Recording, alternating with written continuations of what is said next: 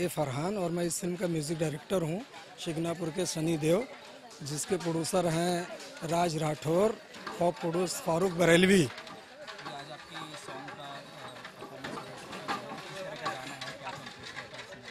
अब ये गाना तो आपने सुना ही है मतलब सुखविंदर सिंह जो, जिन्होंने गाया जो खुद भी एक्ट कर रहे हैं, और उम्मीद है कि मतलब आज तक तो इस तरह का शनि दो पे कोई गाना नहीं आया अभी तक तो मैंने नहीं सुना। ये पहला गाना है और मेरे लिए बड़ी खुशकिस्मती की बात है कि शिकनापुर के शनिदेव में मुझे शनिदेव की ही ऊपर गाना बनाने का मौका मिला और नो डाउट कि अब तक तो परफॉर्म बहुत अच्छा रहा है।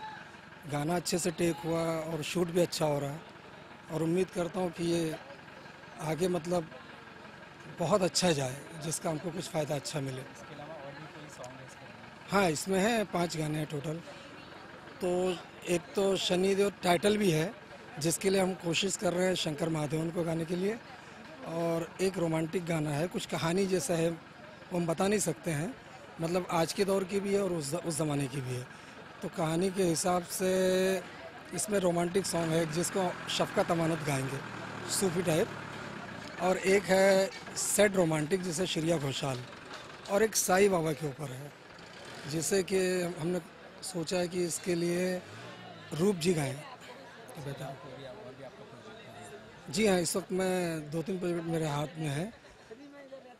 अभी एक तो है आशीष फ़िल्म की प्रोडक्शन नंबर टू जिसमें शंकर महादेवन ने गाया, जावेद अली हैं और तरन्नुम मलिक। लेकिन उसका क्या, उन्होंने टाइटल अभी तक लीक नहीं किया है, इसलिए नहीं बता सकते हैं। चाहेंगे गुनगुनाने के लिए देखिए फिल वक्त अगर ना कहें तो बेहतर है, क्योंकि मेरी आवाज़ बहुत चौक है और मैं लीक नहीं करना चाह रहा हूँ वर्ड हाँ जी, शुक्रिया। जी हाँ वो अमानत शफकत के लिए जो हमने सोचा है, उसके मैं दो हाँ सुना सकता हूँ, मुखड़े। ये इश्क बेखुदी है, आँसू भी है, खुशी है। इश्क आग का दबिस्ता खुशियों का ये गुलिस्ता खुद को तुझ में फना कर दूँ। तुझे सबसे जुदा कर दूँ।